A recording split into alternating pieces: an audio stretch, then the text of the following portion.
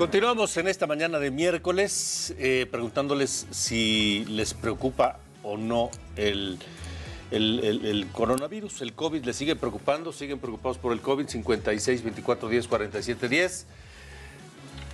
Díganos sí o no y por qué. Ya tenemos algunos comentarios, pero precisamente por eso saludamos hoy al doctor Alejandro Macías, epidemiólogo, para hablar de esta nueva eh, variante de Omicron que está ya manifiesta en México. Doctor, gracias por estar acá. Buenos días. Hola, Tocayo, buenos días. Buenos días, gracias. Gracias por tu tiempo, doctor. Este, dinos, Tocayo, ¿qué, qué está pasando este, con esta variante y qué debemos hacer? Supongo que lo mismo que ya hicimos antes, ¿no? Sí, claro, no es nada que no se pudiera ya anticipar. Ya sabíamos que el virus iba a seguir cambiando, porque el seguro lo, el, seguramente el virus lo que quiere es eh, volvernos a infectar, pero no matarnos, ¿verdad? O sea, el virus tiende a volverse menos patógeno, eh, así que todas esas interpretaciones de que se está volviendo peor y de que eh, va a ser una cepa más virulenta son erróneas. Todo puede ser posible en medicina, pero eso es muy poco probable. El virus es muy poco probable que vaya a revertir en algo peor. Sí se va a transmitir cada vez mejor, ¿eh? Y en el futuro, como va a caer en gente con más inmunidad, también lo más probable es que se vuelva un virus más bien de tipo catarral. Y casi seguramente va a estar subiendo y bajando. Y en tiempo de frío va a incrementarse sustancialmente, también muy probablemente, eh, y va a co-circular con el virus de la influenza. A ver, yo tengo una duda.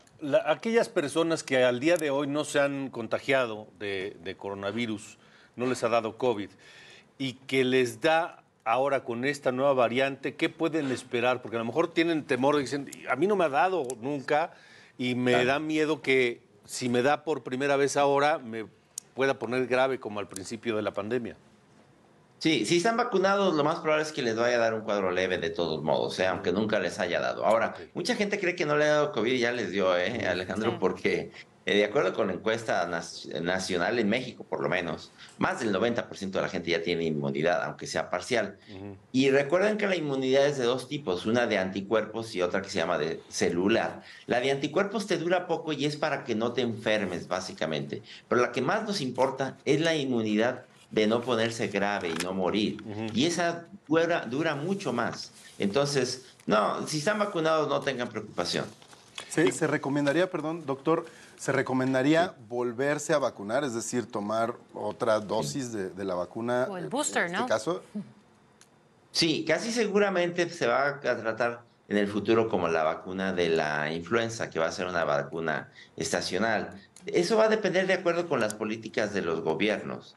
En México todavía no sabemos, pero yo supongo que por lo que han dejado ver y por cuestiones logísticas, se va a empastar la, la vacunación en el futuro con la vacunación estacional de influenza, casi seguramente. Y muy probablemente en el futuro vaya a estar dirigida básicamente a grupos de riesgo, de, de, no de infectarse, todos tenemos el mismo riesgo de infectarnos, pero me refiero a grupos de riesgo de complicarse, básicamente gente de edad avanzada.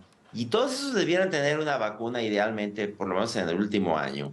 Gente de edad avanzada, mujeres eh, eh, con enfermedades crónicas, hombres o mujeres, mujeres embarazadas, eh, gente con diabetes, enfermedad crónica, cáncer. Esos son grupos de alto riesgo de complicarse. Alejandro, ¿considera que hay que continuar utilizando el cubrebocas? Digo, ya existe la inmunidad, ya la gente pues está mucho más relajada, pero ante esto, eh, ¿considera que sea necesario? Es decir, ¿hará una diferencia o todos nos vamos a infectar nuevamente? Sí, mira, esa es una buena pregunta porque la gente ha insistido mucho con eso, que si vamos a obligar otra vez el uso del cubrebocas. Primero, es mucho más eficaz la ventilación que el cubrebocas, ¿eh? eso hay que decirlo. En exteriores no lo necesitas. En interiores bien ventilados tampoco lo necesitas. Pero si no puedes controlar eso, por ejemplo, si te metes en un vagón del transporte público o en una aula cerrada donde están todos respirando el mismo aire y no hay buena ventilación, ahí te sirve el cubrebocas. El cubrebocas tiene una eficacia más o menos como del 60%. O sea, en lugar de respirar 100 virus, respiras 40. Eh, pero si necesitas mil virus para infectarte, pues si estás ahí eh, en 25 minutos, a, lo mejor de todos modos ya te infectaste. Entonces, no hay que, hay que tener ese concepto. Es más importante ventilar que usar cubrebocas. Pero si no está en ti y no puedes controlarlo y te vas a meter en una situación abarrotada, ponte un cubrebocas, ¿qué te cuesta? Claro, claro. ¿Y los síntomas ante esta nueva subvariante son los mismos?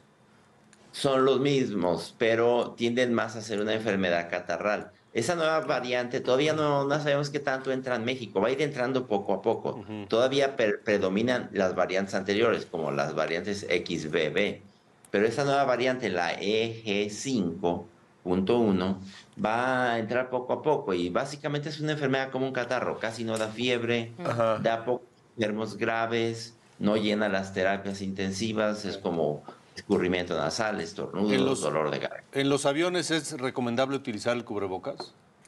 A ver, sí, pero mire, ya, ya el avión en vuelo en general, Alejandro tiene muy buena, muy buena filtración. Es poco probable. Aquí, acá tu riesgo es con el de un lado, nada más. Este, eh, los filtros de los aviones son muy buenos, entonces más bien salas de espera y todo eso, en el momento del abordaje, allí es más riesgo. Ya volando el avión el riesgo es muy bajo. De acuerdo. Muy bien, pues eh, Tocayo, doctor Alejandro Macías, gracias, gracias por habernos acompañado esta mañana.